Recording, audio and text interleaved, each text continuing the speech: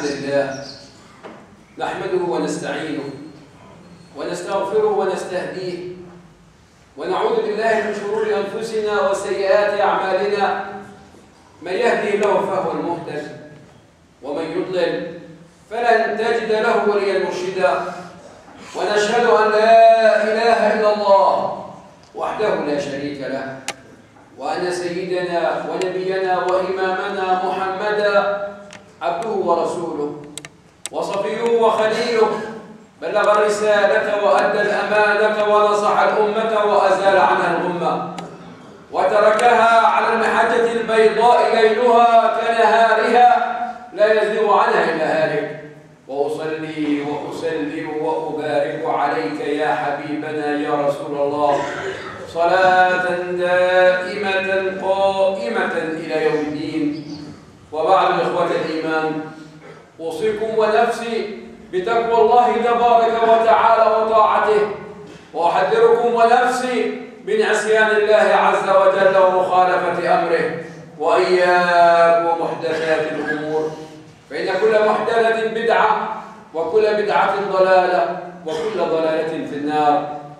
وبعد يا عمار بيوت الرحمن يا من يباهي بكم ربكم الملائكة الكرام وأنتم تملؤون المساجد بالأمن والإيمان وتقبلون على الله تبارك وتعالى بتجرد من هذه الدنيا الفانية. هذه الدنيا التي لو كانت تعدل عند الله عز وجل جناح بعوضة ما سقى منها كافرا شربة ماء هذه الدنيا كراكب استظل في ظل شجرة ثم ارتحل. نعم هذه الدنيا التي نعيش فيها وهذه هذه الحياة التي نمضي ما نمضي فيها هي أيام وساعات ودقائق إما أن تكون لنا أو علينا.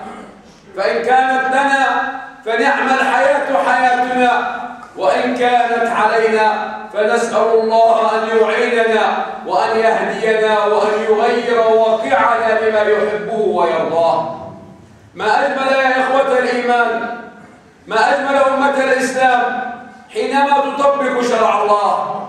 فأول أمس جاء زائر أسرة إسباني من إسبانيا إلى مدينة جنين وهو يعمل مهندسا. فدخل إلى المسجد الكبير لينظر إليه فانبهر ما فيه من تصميم قديم مئات السنين مضت عليه. هذا الكلام ظهرا عصرا مغربا عشاء دخل في الإسلام. أعلن إسلامه عندما رأى المسلمين بكلمة الله أكبر يجتمعون. ونطق الشهادتين عندما رآهم بألله أكبر يصطفون ويركعون ويسجدون ولربه يسبحون ويمجدون بسلوك بسيط وبأمر بسيط في مجتمع الكل منا لا يرضى عن سلوكه فالكل من منا لا يرضى عن واقعنا الإسلامي في هذا الزمان أقصينا كتاب نأخذ من كتاب الله ما يتناسب مع احتياجاتنا. ننظر إلى بنات المسلمين فنرى أنهن كاسيات عاريات مائلات مميلات. رؤوسهن كأسلمة البخت المائلة. إنهن ملعونات أي مطرودات من رحمة الله. ننظر إلى أسواقنا فنجد أن الحرام قد انتشر فيها ومع ذلك. هذا الرجل النصراني الإسباني عندما رأى المسلمين يكبرون بنفس اللحظة وبنفس الوقت ويركعون ويرفعون ويسجدون دخل في دين الله.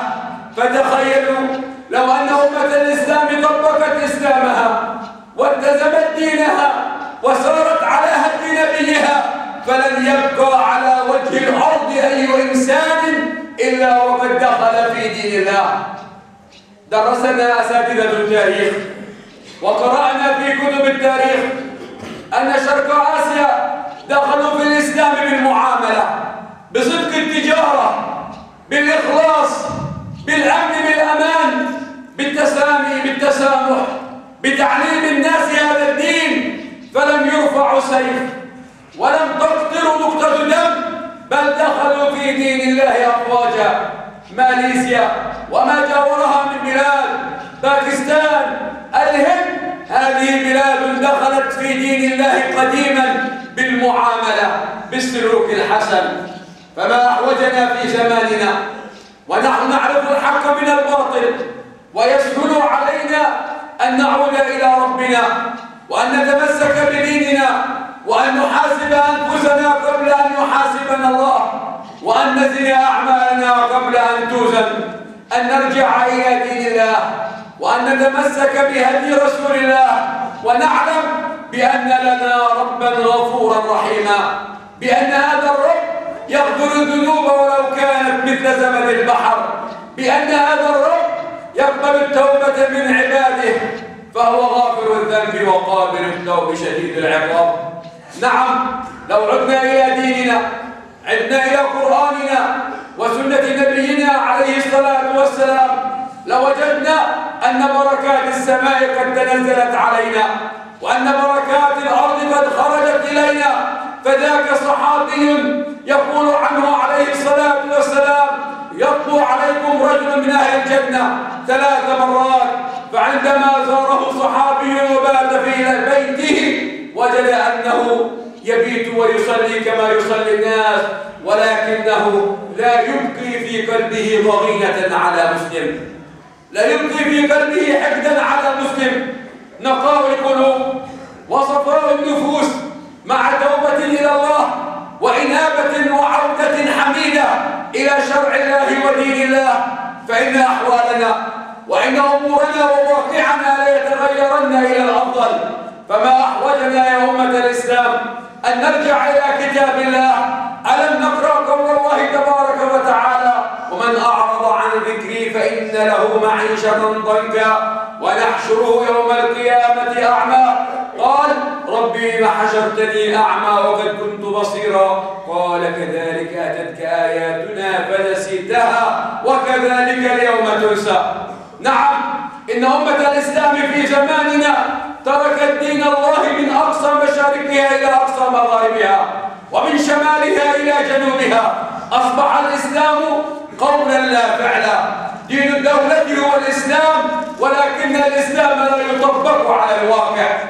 في دولنا في شوارعنا في بيوتنا في حياتنا الدين هو الإسلام ولكن السلوك لا علاقة له بالإسلام فإذا أردنا أن يرتفع عنا البلاء والعناء فلنرجع إلى هذا الإسلام انظروا يا إخوة الإيمان إلى ما يسمى بالربيع أو الخريف أو الصيف أو الشتاء العربي. ماذا عمل بأمتنا وبشعوبنا؟ انظروا إلى أهلنا في سوريا عندما أقصي الإسلام جانبا. ماذا فعلوا بمخيم اليرموك وماذا فعلوا بمخيم النيرة وماذا فعلوا بسائر المخيمات الفلسطينية هناك في العراق عندما سقط المرحوم صدام ماذا فعلوا بمخيماتنا وبأهلنا هناك لأنه لا دين لهم. ولو كان لهم دين الإسلام لحافظوا على أهلنا وإخوتنا لأنهم أمانة في بلاد عربية وإسلامية. ولكن الأمة الإسلامية حينما تركت دينها وتركت كتابها ودستورها وأصبحت تتمسك بالقشور أصبحت لا تمثل شيئا في حياة الأمم.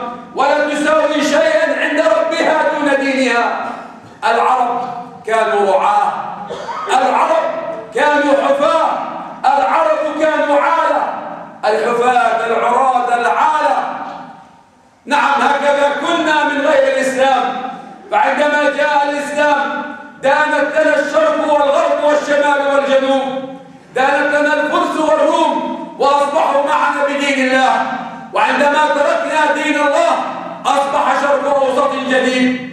أصبح شرق أوسط أمريكي بنكهة جديدة والأمة تكذب وتمزق الأمة تحارب وتحاصر لما قتل أهلنا في مخيم اليرموك لا لشيء إلا أنهم قالوا ربنا الله لأنهم يدينون بدينكم ويؤمنون بربكم ويتمسكون بعقيدتكم فقتلوا وذبحوا قتل مئات الأطفال قتل آلاف الرجال والنساء من أهلنا عندما حاربنا اليهود كلهم أعداؤنا وأعداء ديننا ولكن سوريا على ماذا تحاربنا على ماذا تقتلنا على ماذا تذبحنا تطردنا من بيوتنا على ماذا ومن أجل ماذا يرموك من أهله وسكانه.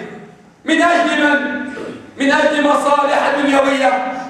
من أجل مصالح فئوية وحزبية. من أجل أناس زعموا أنهم بديننا يدينون. ولكن والله لربنا لا يعبدون. فلو عبدوا ربنا ودانوا بديننا وتمسكوا بقرآننا لعلموا بأن المؤمنين إخوة. ولعلموا أن إخوتهم من الفلسطينيين في سوريا هم أمانة في أعناقهم.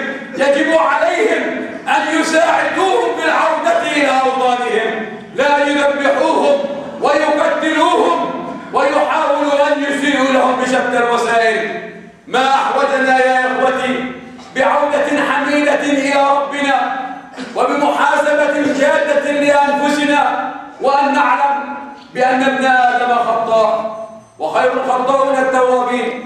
ولو أنكم لم تخطئون فتستغفرون. لذهب الله بكم. وأتى بأناس يخطئون فيغفر الله تبارك وتعالى لهم أو كما قال عليه الصلاة والسلام فما أحوجنا إذا يا إخوة الإيمان أن نراجع أنفسنا قبل أن نرجع إلى ربنا وأن نحاسب أنفسنا ونرى هل فعلنا الخيرات أم المنكرات فإن فعلنا الخيرات وجهناها ابتغاء مرضات الله وإن ارتكبنا المعاصي أو المنكرات حاسبنا أنفسنا ورجعنا إلى ديننا وردنا المظالم إلى أهلها قبل أن يأتي يوم لا ينفع فيه لا أحساب ولا أنساب وأن ليس للإنسان إلا ما سعى وأن سعيه سوف يرى. فنسأل الله العظيم رب العرش الكريم أن نكون وإياكم هداة مهديين وأن نكون عارفين ملتزمين عائدين لديننا متمسكين بقرآننا منادين بوحدتنا. آمين آمين. وأقول قولي هذا وأستغفر الله لي ولكم ويا فوز المستغفرين. استغفر الله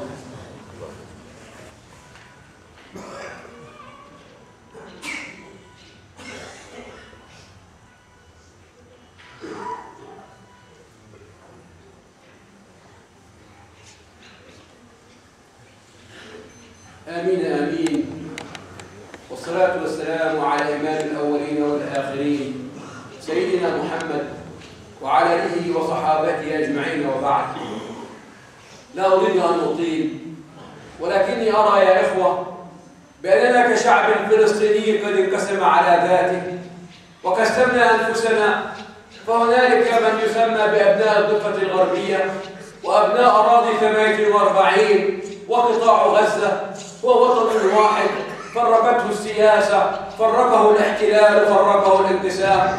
ما أحوجنا يا إخوتي وما أننا جميعا في هذا الوقت ما من فلسطيني في بلاد الشام في هذه اللحظات إلا وفي بيت من بيوت الله.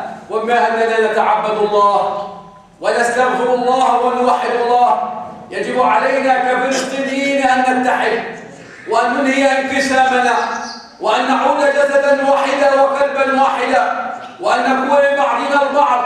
يكفينا دمارا يكفينا انقساما يكفينا وبالا يكفينا خزيا وعارا. والله إن انقسامنا هو دمار لنا. دمار لنا في فلسطين.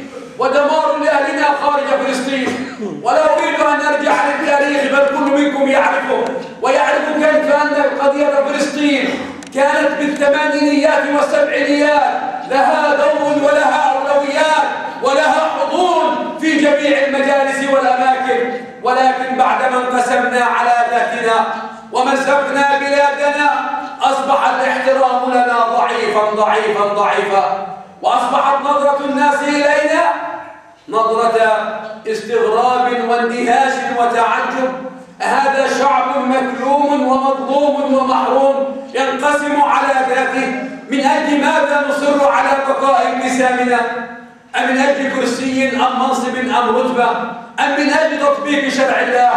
إن كان من أجل تطبيق شرع الله فإننا جميعا سنقول نحن نحن مع شرع الله وهيا لتحرير حيفا ويافا وصفد وطبرية وفلسطين وإن كنا نقول سلاما أو هدنة فكلمتان سيان لا نساوم على بعضنا بعضا ولا نزاود على بعضنا بعضا. يجب علينا أن ننهي انقسامنا فورا وأن نتحدث عن المحاصصة. وأقسم بالله وأنا على منبر رسول الله بأن الذي تبقى بيننا هو كم نصيبك في منظمة التحرير وكم نصيبك في المجلس الوطني الفلسطيني وكم نصيبك في الأجهزة وكم نصيبك في كذا وكذا. إن كانت فلسطين غنائم تقسم فعظم الله أجركم بفلسطين.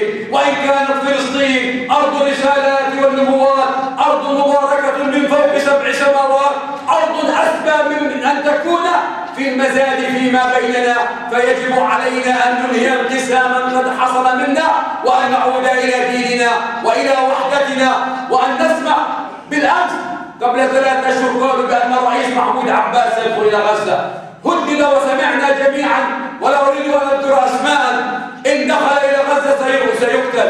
لا أدري كيف نريد وحدة ونربي الذكون أو نقول نحمي الدين ثم بقاء انقسام وانشقاق فيما بيننا إن كنا مسلمين فلنتسامى على جراحاتنا ولنتسامح على هفواتنا ولنرجع إلى ربنا ولننبذ الانقسام ولا نتحدث الآن إلا عن انتخابات تشريعية جديدة من خلالها.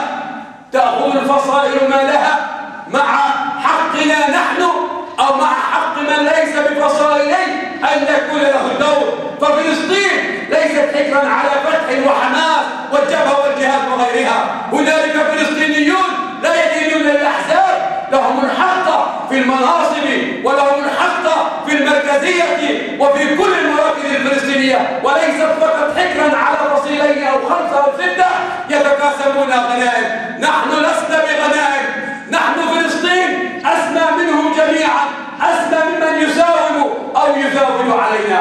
نسأل الله أن يتحد شعبنا وأن نكون يدا واحدة وقلبا واحدا. إن الله وملائكته يصلون على النبي. يا أيها الذين آمنوا صلوا عليه وسلموا تسليما.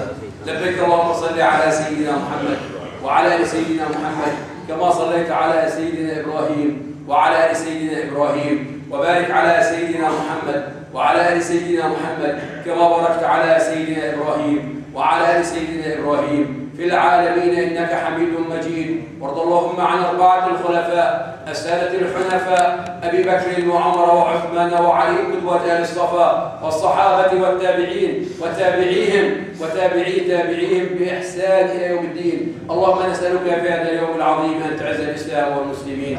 اللهم أعزنا بالإسلام وأعز الإسلام بنا. اللهم اجعلنا من المجاهدين بالمال والنفس والولد. اللهم لا تجعل الدنيا اكبر همنا ولا مبلغ علمنا ورضنا منها بما يوصلون إليك مولانا رب العالمين. اللهم يا مفرج الهم والغم والكرب فرج همنا وغمنا وكربنا. اللهم اجمع شملنا ووحد كلمتنا. اللهم فك اسر ماسورينا وأحسن خلاص مسجونينا وتب على العصاة منا والمذنبين. اللهم فرج هم إخوتنا في سوريا. اللهم فرج هم المسلمين في سوريا والعراق وأفغانستان وليبيا وتونس وفي سائر بقاع الأرض. اللهم فرج هم المسلمين يا رب العالمين. اللهم ردهم إليك ردا جميلا. واجعلهم من المؤمنين الصادقين المخلصين. اللهم ول أمورنا خيارنا. ولا تول أمورنا شرارنا. اللهم وليت أمرا من أمورنا. خيرا وبطائنا صالحا. تعينه على ذكرك وشكرك. وتطبيق كتابك فينا مولانا رب العالمين. آمين آمين. وأقم الصلاة. إن الصلاة تنهى عن الفحشاء والمنكر ولذكر الله أكبر. الله على ما